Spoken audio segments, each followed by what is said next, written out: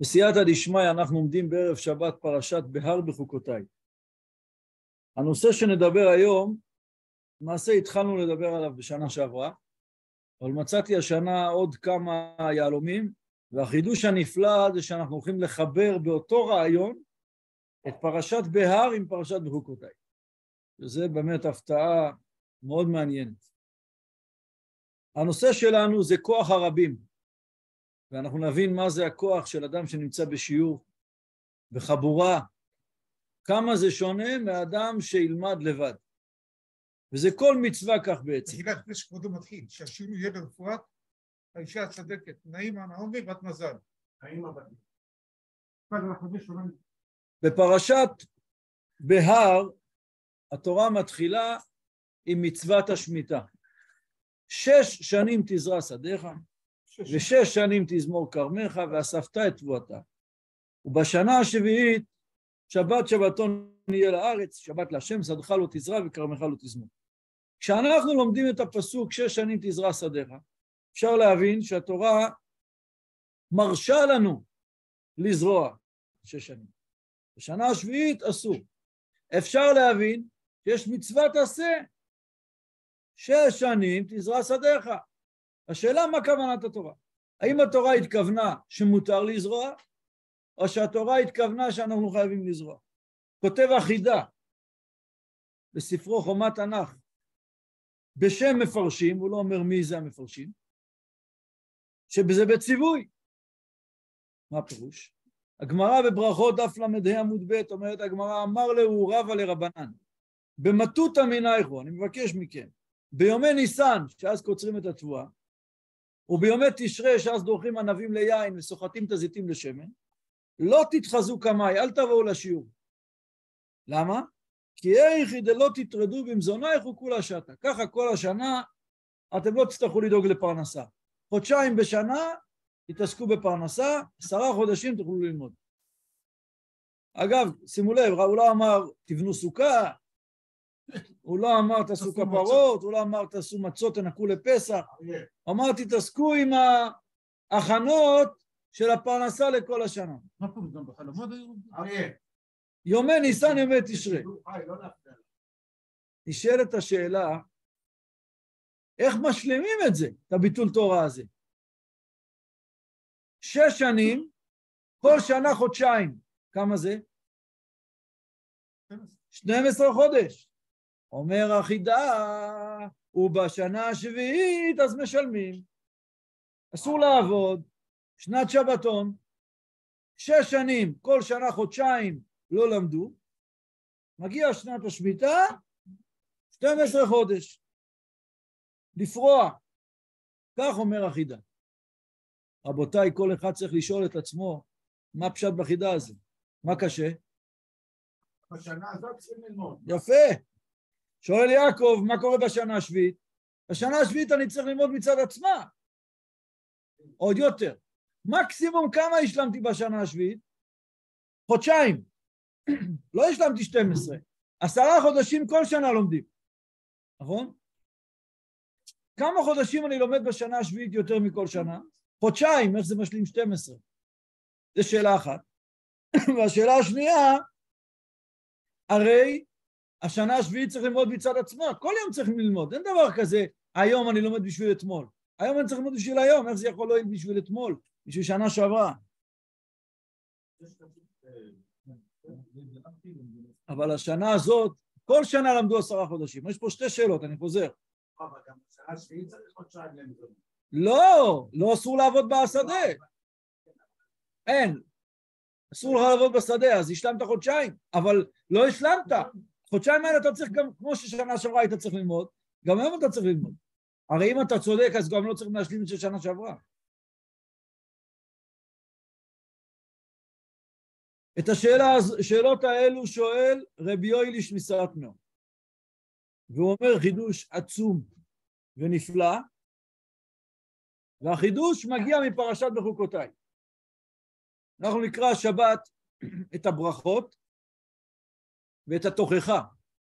דיברנו על זה שהגמרא אומרת שעזרתי כן, שיקראו לפני uh, עצרת דיברנו שעצרת זה כמו יום הדין, לכן צריכים לקרוא את התוכחה לפני עצרת. רש"י אומר, ורדפו מכם חמישה מאה, ומאה מכם רבבה ירדופו, הרש"י המפורסם, שואל לתורת כהנים וכי כך הוא החשבון, אם אתה אומר שחמישה רודפים מאה פי עשרים, אז מאה רודפים אלפיים. אלא אינו דומה מועטים מה עושים את התורה. למרובים מה עושים את התורה. פה אומר רבי יואלי שאנחנו רואים שכוח הרבים הוא עצום, הוא בכלל לא דומה לכוח המועטים. עכשיו, שש שנים, באמת, בואו ננסה להבין. מה אמר לנו החידה? מה רבא אומר לחכמים? חודשיים אל תבואו אצלי. למי הוא אמר את זה? לכל עם ישראל. כל עם ישראל עמדו עשרה חודשים? אמר לאו רבא למי? לרבנן, נכון? רוב עם ישראל לא למדו עשרה חודשים. ודאי שלא. אז חייבים לומר שבשש שנים האלו רוב עם ישראל למדו ממש מעט. כל השנה עסקו בפרנסה. בני עלייה מועטים הם זכו ללמוד עשרה חודשים וחודשיים להתעסק בפרנסה. מה קרה בשנת השביעית? שבת להשם, מה קרה? לא היה אז הייטק, לא היה בנקים. פרנסה של אנשים הייתה חקלאות. ברגע שאתה סוגר את החקלאות, כולם הולכים לבית כנסת ללמוד תורה. אז בואו נחשוב מה קרה. מבית כנסת שעשרה אנשים למדו, נהיה מאות ואלפים. מה יש לעשות? עיתונים, מה? אין דבר כזה. ברגע שלא צריכים להתעסק בפרנסה, לומדים תורה. אז הוא אומר, ועל ידי שנתרבו מאוד התלמידים העוסקים בתורה, מה קרה עכשיו? היה ביד ישראל כוח עצום של מרובים העושים את התורה. מה קרה עכשיו? כל אלו שלמדו שש שנים, עשרה חודשים, נכון? והיה חסר להם חודשיים, השנה הזאת, התורה שלהם בעשרה חודשים, בשתים עשרה חודש שהם היו בבית המדרש, לא הייתה באיכות של שנה שעברה, הייתה פי כמה וכמה.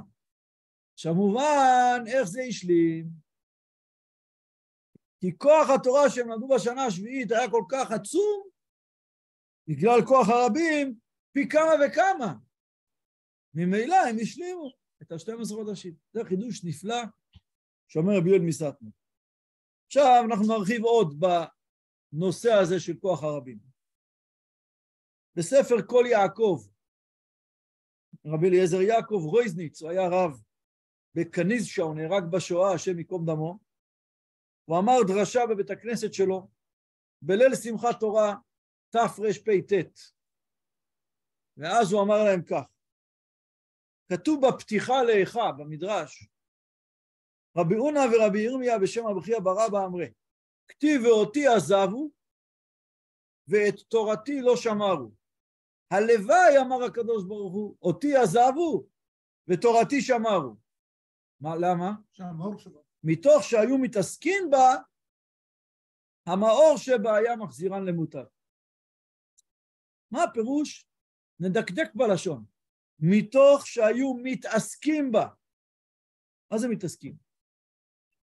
אומר הכל יעקב, עיקר גדול לחיזוק התורה זה לימוד ברבים. היצר הרע, כשהוא רואה שאדם רוצה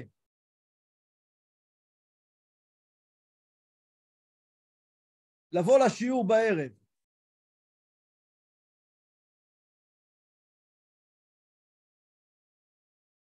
אדם חוזר, חוזר מהעבודה, עוד לא אכל ארוחת ערב, הוא עייף, רעב.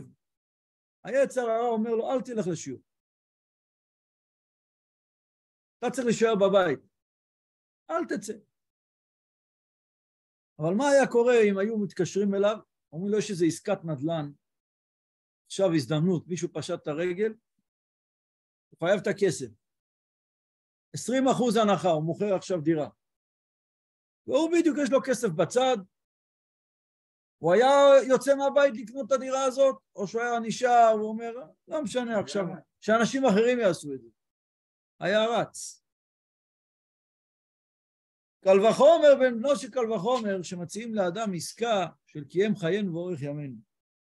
לכן חז"ל אמרו לנו, מתוך שהיו מתעסקים בה, מי שמסתכל על שיעור תורה כמו עסק, כמו ביזנס, המאור שבה יחזירנו למוטב. ואגב, זו תשובה, שמעתי את הרב יצחק יוסף, שליטה פעם מספר שהרב עובדיה התקשר לאחד מראשי הישיבות, אני לא אגיד שמות, מי שיודע, מי שיודע מה אני אומר כבר מבין, היה איזה שר בממשלה שהיה חברותה עם אחד מראשי הישיבות, היה לו קביעות איתו. והיה איזה עניין שהרב עובדיה רצה שראש ישיבה זה ישפיע עליו. והראש ישיבה סירב. הוא אמר שהם סיכמו שלא מדברים פוליטיקה, רק לומדים תורה. הרב עובדיה אמר, זה לא פוליטיקה, לא אכנס עכשיו לכל הנושא. אבל שאל הרב יצחק, איך יכול להיות שאותו שר לומד כל שבוע עם ראש ישיבת תורה, והוא נשאר כמו שהוא? איך הוא לא חזר בתשובה? אז הוא אמר שהתשובה היא שלא למדו הלכה למעשה. הוא הרי מדבר מאוד חזק, אז זה הלכה למעשה. הוא אומר רק הלכה למעשה מחזיר, אבל לפי מה שעכשיו דיברנו, לא צריכים להגיע לזה. כי רק כשאתה מסתכל על התורה בתור עסק, אז זה מחזיר למותר. אם אדם עושה טובה למישהו שהוא לומד תורה, הוא מעביר את הכרטיס, הוא לא מרגיש שהוא עושה כאן ביזנס, זה לא יחזיר אותו למותר. אם אדם מרגיש שהוא עושה ביזנס עם עצמו, ועכשיו משקיע, זה יכול להחזיר אותו למותר. ואז הוא אומר, מה התשובה? אה? אני עכשיו הבאתי עוד פירוש. אני לא אמרתי.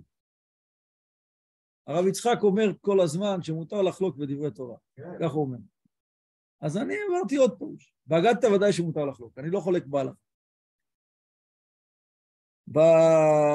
יבוא היצר הרע, יגיד לאדם, תשמע, לא מתאים, אתה הולך לבית הכנסת, כולם רואים שאתה לומד, עזוב, תשב בבית, בצנע הלכת, תהיה עניו.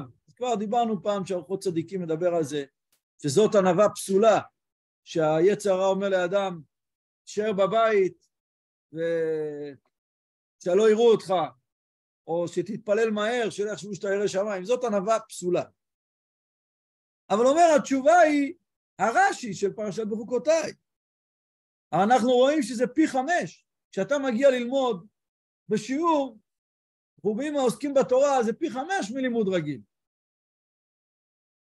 עכשיו, האדם הזה יבוא ויצעק, אני רציתי רק ללמוד בצנע הלכת. מה אומרת לו התורה? לא. לימוד ברבים זה משהו אחר לגמרי. מביא הכל יעקב משל. אומר, היה, היום אין לנו דבר, דברים כאלו, היה יום השוק, נכון? היה כל השבוע אנשים היו מתעסקים, אבל היה יום אחד, היו נוסעים ליריד. כל סוחר היה מסדר את היומן שלו, שביום השוק הוא יוכל לנסוע לשוק. סידר, שלא יהיו לו אירועים, שהכל, כל הפגישות, את כל הדברים הוא סידר. אדם שבא ללמוד ברבים, זה, צריך לדעת שזה יום השוק. הוא אומר, ירא שמיים ילמד גם בבית. גם זה צריך לעשות. גם שהילדים יראו שהוא לומד, שהאישה תראה שהוא לומד, גם צריכים גם להצטנע קצת. אבל צריך להסתכל על זה שכל יום זה אתה בחנות, בבית אתה בחנות, באת לשיעור, אתה ביום השוק.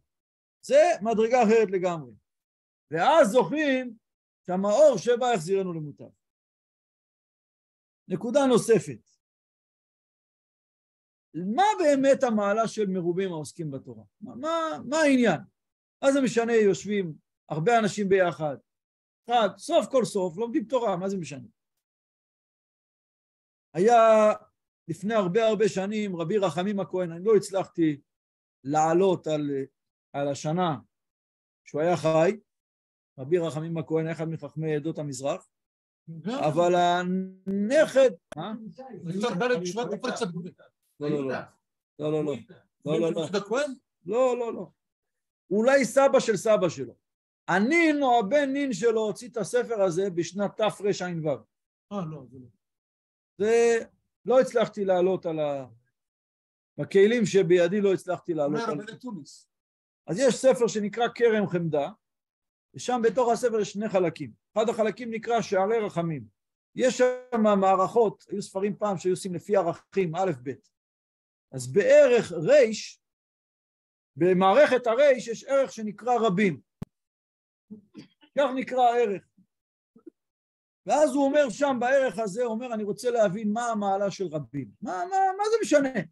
מה משנה אם כל אחד מאיתנו היה יושב עכשיו ולומד לבד באיזה מקום, או שהתאספנו יחד ללמוד.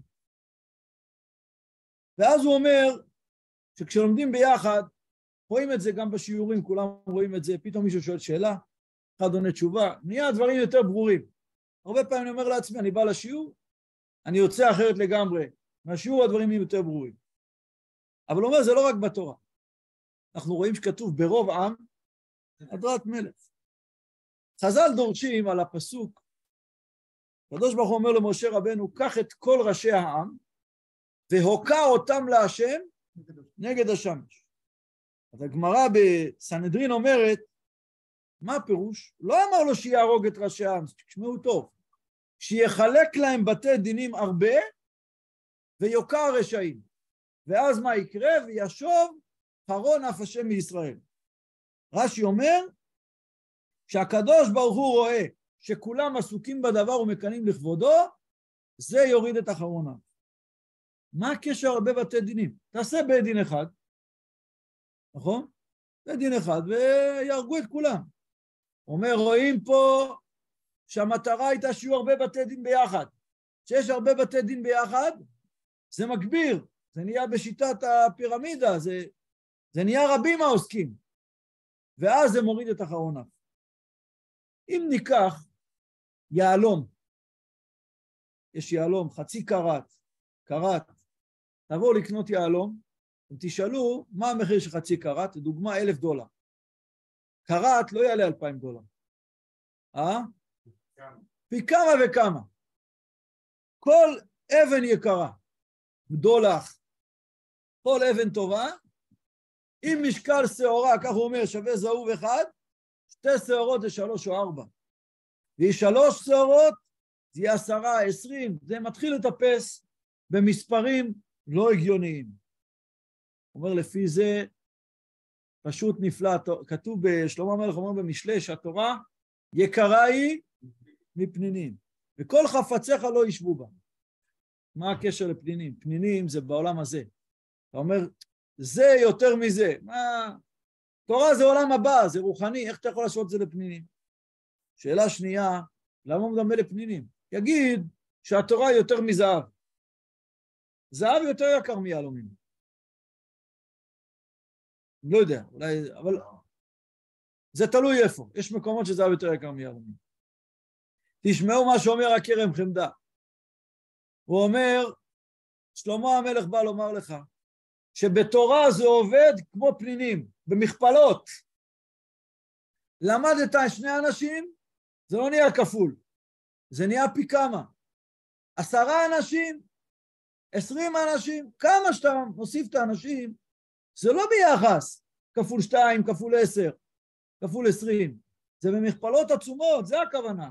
יקרה היא, אתה יודע כמה תורה יקרה, תבדוק בפנינים איך זה עובד. המחירון של הפנינים, זה המחירון של התורה. כן, אבל זה נהיה פשט אחר. יקרה היא. מה, איך המחירים? תבדוק במחירון של הפנינים, פילי פלאים. זה פנינה אמיתית, האבורט הזה. עכשיו תשמעו וורט של הבן איש חי, שהיום תלמיד חכם אחד ראה את זה, אמר לי שזה אומרת הגמרא הזאת, פעם ראשונה שהוא מבין טוב. הגמרא בסנהדרין דף כ"ו מספרת, שבנה, הוא היה הממונה על בית חזקיהו המלך, הוא היה דורש בתליסה ריבבתה. בן איש חי מסביר שהיה לו 13 חבורות, אבל היד רמה אומר 13 פעמים עשרת אלפים. ריבבתה זה רבבה, זאת אומרת 130 אלף תלמידים. שומעים? חזקיה היה לו 11, 110 אלף. בא סנחריב, שר על ירושלים. שבנה כתב פתק, זרק חץ לסנחריב, הוא כתב לו שם כך, שבנה וסיעתו השלימו, אנחנו איתך, מוכנים לעבוד אותך. חזקיה וסיעתו לא השלימו. לא ניכנס לאריכות הדברים, חזקיה פחד. מה הוא פחד? אמר, כיוון שהולכים אחרי הרוב, והרוב הולכים עם שבנה, נכון? היה לו 13 ריב ובתה, ולחזקיה היה רק 11. אז אולי, אם הם נמסרים לסנחריב, חס ושלום גם אנחנו נמסר לסנחריב. בא ישעיהו הנביא ואמר לו, אתה לא צריך לדאוג. קשר רשעים הוא, וקשר רשעים אינו מן המניין. מה הפירוש? גמרא הזאת לכאורה תמוהה, מה הקשר, מה זה קשר רשעים? יש פה רוב או אין פה רוב? הם 130 אלף וזה 110 אלף, זה 13 מול 11. אומר הבן איש חי, על פי מה שדיברנו, הרי אמרנו שאם חמישה לומדים בחבורה, שיש להם קשר אחד עם השני, כל אחד נהיה כמו עשרים, נכון? זה נהיה מכפלות. אומר הבן איש את אותו יסוד שדיברנו קודם, תיקח אבן טובה שהמשקל שלה הוא קרת אחד, היא שווה מאה דינר. אבן גדולה של עשרה קרת היא לא אלף דינר, היא עשרת אלפים דינר. קרת שיש בה שווה אלף דינר. אומר אותו דבר השכר של לימוד התורה. שימו לב, כל אחד שמגיע לחבורה ללמוד, הוא מגדיל את השכר של, ריבו, של אנשי החבורה כולם. זה מחייב אותנו. כשאנחנו לא באים, צריך להבין כמה, כמה יורד. אומר הבן איש חי, לפי זה נבין, הקטון יהיה לאלף, והצעיר לגוי עצום. מה הכוונה? אם החבורה תהיה אלף בני אדם, כל אחד הוא כמו אלף. הקטון יהיה לאלף. ואם החבורה תהיה גדולה בגוי עצום, כמה זה גוי עצום? שישים ריבו. אז כל אחד יהיה כמו שישים ריבו. והצעיר לגוי עצום. אז מה בעצם אומר חשבון של חבורה? זה אומר חשבון של קשר. יש קשר בין כל בני החבורה, ומקשר את כולם, זה עושה את ההכפלות. בזמן הראשונים היו לומדים חבורות חבורות. חמש מאות, אלף, כל מיני מספרים. שבנה היה ראש ישיבה, היה לו שלוש עשרה חבורות. שוב, אני אומר את הבן איש חי לשיטתו, הוא מסביר את זה עניין של חבורות. לפי היד רמה, זה עשרת אלפים. אולי, כנראה שלא היה לבן איש חי את היד רמה. נדמה לי שכתב יד של היד רמה זה שלב מאוחר יותר. אז פחד, שימו לב, מה פחד חזקיה המלך? שהם יותר, נכון? כי ההכפלות, לחזקיה יש הכפלות של 11 חבורות, ביחס לזה לשבנה יש הכפלות של 13 חבורות. אז הפער נהיה עצום ועצום. מה אומר לו הנביא? קשר רשעים אינו מן המניין, מה הפירוש? אין קשר ביניהם. אז המאה ועשר אלף של חזקיהו נהיה מיליונים. מה היה המאה שלושים אלף? מאה שלושים אלף. שמעתם? הם למדו תורה, אבל אין קשר. פשט נפלא בגמרא. אומר רבי נשחא, אין פה קשר, אתה לא צריך לדאוג, אתה פי עשר מהם. פילי פלאים. בניהו, על הגמרא שם, אני לא מצאתי, משום מה אין לי, אין לי את הבניהו הזה, אבל יש ספר שנקרא אוצרות חיים, דרכי לימוד התורה. שם בעמוד ס"ג מופיע כל העניין הזה. הוא קורא לזה כך, יש חשבון של כלל ויש חשבון של פרט. אצל שבנה היה חשבון של פרט. כל אחד שהיה בשיעור הוא אחד. אז יש לך 110, 130 אלף. אבל אצל חזקיהו יש קשר. כל אחד הוא לא אחד. זה נהיה בהכפלות. אז הרבה יותר. תלך להם. ניגש לעוד עניין יפה. המשנה באבות פרק ג' משנה ז'. רבי חלפתא איש כפר חנניה אומר, עשרה שיושבים ועוסקים בתורה, שכינה שרויה ביניהם. שנאמר אלוקים ניצב, רדת כל, עדה זה עשרה. ומנין אפילו חמישה, שנאמר ואגודתו, אגודה זה שלושה, על ארץ יסדה. סליחה, זה חמישה. ומנין אפילו שלושה, שנאמר בקרב אלוקים ישפוט, זה בית זה שלושה. ומנין אפילו שניים, שנאמר אז נדברו יראי השם איש אל רעהו. ומנין אפילו אחד, בכל המקום אשר אזכיר את שמי אבולך וברכתיך. הוא גדול מכוח הפרטים, זה דיברנו. חמישה אנשים, יש ספר שנקרא מילי דאבות, מי זה היה? רבי יוסף חיון, הוא היה מנהיג של קהילת ליסבון בפורטוגל, הוא נפטר בערך בשנת סמך. כמה זה ריש סמך? יותר מחמש מאות שנה. אז יש לו ספר מילי דאבות על משנה מסכת אבות. אז הוא אומר כך, חמישה אנשים, כל אחד יש לו הגבלה, נגיד כל אחד יכול לקחת עשר קילו לצורך הדוגמה, חמישה ביחד לא לוקחים חמישים קילו, הרבה יותר. אחד עוזר לשני. אומר לנו רבי חלפתא, תדע לך, שימו לב למספרים, עשרה, הוא לא אומר עשרה, תשעה, שמונה, שבעה, נכון? עשרה, חמישה, שלושה, שניים, אחד. למה? הוא אומר כך, כמה זה חמש? נעשה חשבון. ועוד שלוש? שמונה. הוא אומר כך, אה, אה, חמש ועוד שלוש, שמונה ועוד שתיים, עשר. אומרת, העשר, אתה יכול להסתכל עליהם כחמש, שלוש ושתיים. לא, זה עשר. חמש, אתה יכול להסתכל עליהם כשלוש ושתיים. לא, זה חמש. שלוש, אתה יכול להסתכל עליהם כמו שתיים ואחד, שמתם לב לחשבון? איזה הברקה אומר. אומר לנו התנא, גדול כוח השניים העוסקים בתורה, יותר משני אחדים. העשרה זה יותר מחמש ושלוש ושתיים. זה משהו אחר לגמרי. עוד נקודה. בספר שער ישוב היה רב של קוויאשד, הוא נפטר בשנת תשל"ג, רבי אלעזר שפירא. פרשת ואתחנן הוא שואל שאלה מעניינת. רש"י אומר, ושיננתם לבניך, לשון חידוד. זה הגמרא בקידושין דף ל'. שם רש"י אומר, מה זה שיהיו מחודדים בפיך? חזור עליהם ובדוק בעומקם. לפי הפשט, רש"י בא להסביר מה זה ושיננתם, שיהיה מחודד. אבל אומר, אפשר להגיד בכוונת רש"י עוד משהו. לכאורה יש כאן קושייה גדולה. בבעיה עם שמוע לא כתוב ושיננתם, כתוב ולימדתם אותם את בניכם.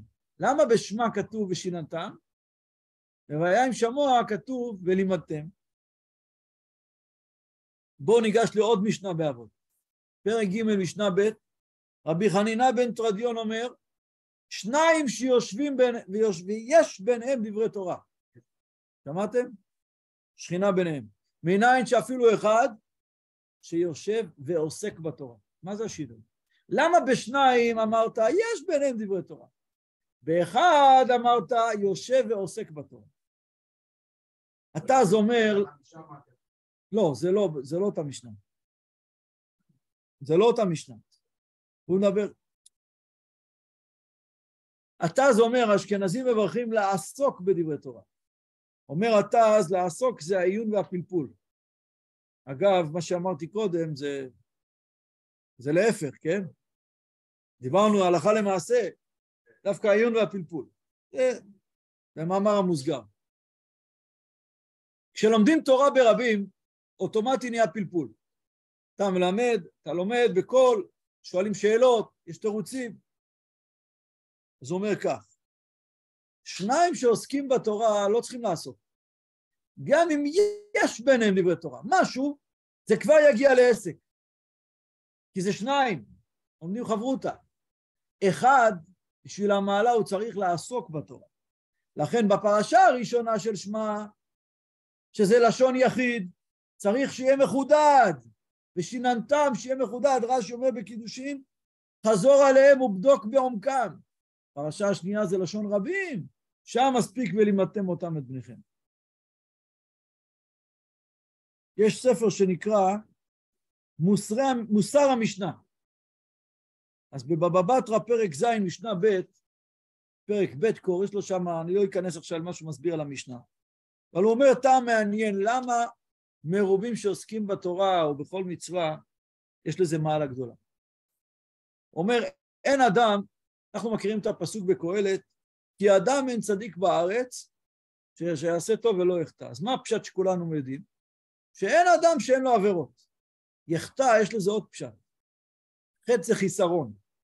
אין אדם שעושה טוב בלי חיסרון. תמיד כשאתה עושה מצווה, משהו יהיה חסר. אז אם אתה עושה לבד את המצווה, זה מעשה קטן, אז רואים טוב את החיסרון. אבל אם רבים עושים את המצווה, אז החיסרון הוא לא ניכר. כי המעשה הוא גדול. אז זאת אומרת, זה הטעם של רבים שעוסקים בתורה ועושים את המצווה, שזה שונה מהיחידים. עוד נקודה הוא אומר, הגמרא בכריתות אומרת שכל תענית שאין בה מפושעי ישראל, אינה תענית, שהרי חלבנה ריחה רע, ומנעה כתוב עם סממני הקטורת. אומר הבעל שם טוב, מה, מה העניין של החלבנה? אומר הבעל שם טוב פשט כזה, כשאתה מתענה, אתה חייב להיות תופח על מנת להטפיח, להשפיע על האנשים בסביבתך. אם המטענים לא יכולים להשפיע על פושעי ישראל שגם הם השתתפו בתענית, התענית לא שווה כלום. כי זה אומר שגם אתה לא עשית בלב שלם. אם אתה היית עושה בלב שלם, היית מצליח להשפיע. כשיש הרבה עצים יבשים שדולקים טוב, אז גם אם יש עץ אחד שהוא רטוב, גם הוא ידלק. כשיש צדיקים גמורים בישראל, גם הם משפיעים גם על הגרועים. אותו דבר, כל חבורה של מצווה, יש אנשים שעושים את המצווה בקרירות, לא בלב שלם. עכשיו, אם אלו הנחשלים נמצאים בחבורה גדולה, שמחבבת את המצווה, אז הרבים משפיעים עליהם. אבל אם רק מועטים עושים, אין להם כוח. רבי ישראל סלנטר העיר הערה מעניינת. שלמה המלך אומר בקהלת, מעוות לא יוכל לתקון, וחסרון לא יוכל להימנות. אומרת הגמרא בברכות ובחגיגה, מעוות לא יוכל לתקון זה שביטל קריאת שמע, אי אפשר להשלים. וחסרון לא יוכל להימנות, זה שנמנו חבריו לדבר מצווה, והוא לא נמנה עמהם. שואל רבי ישראל סלנטר, אני לא מבין למה זה נקרא מעוות, וזה נקרא חסרון, שניהם אותו דבר. בואו נחשוב. היה זמן קריאת שמע, הוא לא קרא, עבר הזמן. היה מגבית לצדקה, הוא לא השתתף, אותו דבר. נגמר, נגמרה המגבית, לא צריכים את הכסף שלו. תשמעו טוב מה שמחדש רבי ישראל סלנטר, והוא מדייק את זה במילים. מה הפירוש נמנו חבריו לדבר מצווה, והוא לא נמנה עמהם? שמעתם את המילים? מה זה והוא לא נמנה עמהם? שאתה פשוט זה נראה, קראו לו, והוא לא בא. הוא אומר לא. אומר, כשהאדם הולך להשקיע, פותח חנות נעליים, לקח חצי מיליון שקל, קנה סחורה. מה הוא צריך קודם כל להקפיד? שהוא לא יפסיד את החצי מיליון שקל. לפני שהוא דואג על הרווחים, דבר ראשון הוא צריך לדאוג שהקרן לא תרד. לא, אני מדבר עכשיו בביזנס. כשיש חבורה שעושים מצווה, תן דוגמה, יש דף יומי, לומדים דף יומי. עכשיו אמרו כולם, שבוע הבא עושים סיום מסכת. יבוא אחד יגיד, אני לא הספקתי. יהיה ביזיונות, נכון? אז אוטומטי, זה שהוא בחבורה, זה גורם לו שאין לו ברירה. ברור שעדיף שאדם יעשה מצווה בלי הכרח, ברור. אבל כמו בביזנס, אדם צריך לדאוג קודם כל לא להפסיד את הקרן, גם במצווה. קודם כל אל תפסיד את הקרן. תוכל ללמוד. אחרי זה נראה איך אפשר להרוויח. אומר רבי ישראל סלנטר, מי שנמנו חבריו לדבר מצווה והוא לא נמנה עמהם, זה לא שהוא לא עשה את המצווה. אמרו בוא נלמד ביחד. הוא אמר לו, אני הולך ללמוד לבד. שמתם, שמתם לב מה אמרתי? הוא לא נמנה עמהם, לא כתוב שהוא לא למד. הוא לא היה איתם ביחד, זה לא חסרון, זה לא מעוות. אי אפשר לקרוא לו מעוות, הוא למד. אבל את החיסרון אי אפשר למנות. את החיסרון שהוא הפסיד, את המעלה של הרבים, את זה אי אפשר, הוא לא יכול לספור. לכן זה מעוות לא יוכל לתקון, כי הוא לא קרא קריאת שמע. אבל פה הוא קיים את המצווה. ואת המעלה הזאת אין לו, את המעלה של הרבים. הרב שטיינמן זצ"ל עמד על נקודה, ברמב"ם כתוב שהאדם שעוונותיו מרובים על זכויותיו, מיד הוא מת. כך אומר הרמב"ם בהלכות תשובה. וגם מדינה שעוונותיה מרובים, מיד היא עובדת. וכן כל העולם כולו, אם היו עוונותיהם מרובים מזכויותיהם, מיד הם נשחטים. אבל מה? אומר הרמב"ם שהמשקל הזה זה לא מספר. זה, יש זכות שהיא כנגד כמה עוונות, ויש עוון שהוא כנגד כמה זכויות. הקדוש ברוך הוא, הוא יודע איך לחשב, כך אומר הרמב"ם. אומר הרב שטיינמן, אם העולם קיים עכשיו, מה זה אומר? שרובו, רוב העולם זכאי. אני שואל אתכם שאלה. זה מובן לכם? אבל אם אתה עובד עם מרובים העוסקים בתורה, אתה מבין מה קורה פה. המשקל הוא עצום, כמו שראינו אצל שבנה. זה לא במספרים של אחד לאחד, זה מספרים אחרים לגמרי. אבל רבותיי, צריכים לזכור גם את החלק ההפוך. אם חס ושלום מישהו לא לומד בחבורה, אומר, נו, מה קרה? אחד נחסר, לא נחסר אחד. את כל ההכפלות אתה הורדת. זה עצום. זה מדהים. עכשיו מובן, אומר הרמב"ם, למה הקדוש ברוך הוא יודע לשקול? אתם שומעים? אומר הרב שטיינמן, למה הרמב"ם אומר שרק הקדוש ברוך הוא יודע לשקול? כי זה מספרים שאנחנו לא יודעים לעשות אותם. ישיבת מיר, כמה היא שווה, אה, פורת יוסף, כל כולל, כל שיעור, רק הקדוש ברוך הוא יודע לעשות את זה. אלה פלאים. אנחנו עומדים עכשיו במצב לא פשוט. עם ישראל צריך הרבה רחמים. והפרשת השבוע, בברכות כתוב, ורדפתם את אויביכם, ונפלו לפניכם לחרב, שנזכה לזה בקרוב בעזרת השם. אני רוצה לסיים עם מה שסיימתי את השיעור בשנה שעברה. חוקותיי. עכשיו מחובר. אני קישרתי, התחלתי עם השמיטה, עם החידה, שהרבי יואל מסטמר הסביר לנו את זה עם הבחוקותיי, עם המרובים, עם ה... שהשנה השביעית נהיה ריבוי תורה.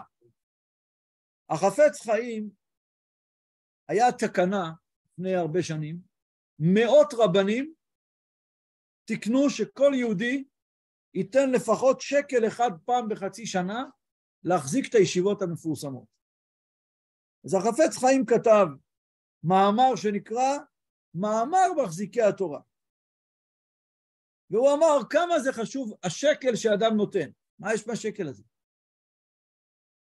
אז הוא מביא את הרש"י שלנו, אז הוא אומר, מה קורה אם כלל ישראל יתאגדו, כל אחד ייתן שקל?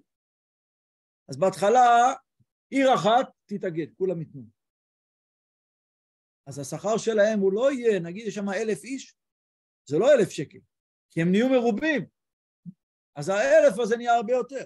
אחרי זה, אומר החפץ חיים, מתחברות עוד כמה עיירות, כולם ביחד ההכפלות קופצות בכמויות, ואם כן יהיה זה לכלל ישראל, זכות גדול להינצל מכמה צרות ורעות ויקרב את הגאולה. זה הוא מביא את הפסוק בדברי הימים, ועזריהו בן עודד הייתה עליו רוח אלוקים, וימים רבים לישראל ללא אלוקי אמת, וללא כהן מורה, וללא תורה, ובעיתים ההם אין שלום ליוצא ולבא, כי מהומות רבות על כל יושבי הארצות, וחוטטו גוי בגוי, ועיר בעיר, כי אלוקים עממם בכל צרה. מסיים הנביא, ואתם חזקו, ואל ירפו ידיכם. יש שכר לפעולתכם. מה, מה, מה הקשר?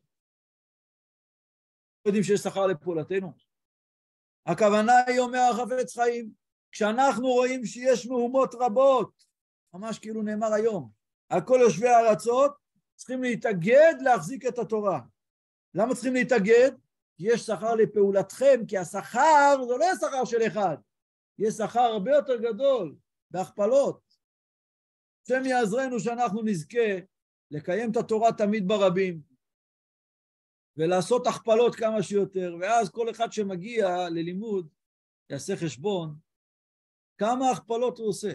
כל אחד מאיתנו פה עכשיו שנמצא בשיעור, שיעשה חשבון שהוא לא למד שעה, לא למד ארבעה, תעשו חשבון, אני לא יודע את החשבון. איך אמר לנו הרב שטיימן? רק הקדוש ברוך הוא יודע.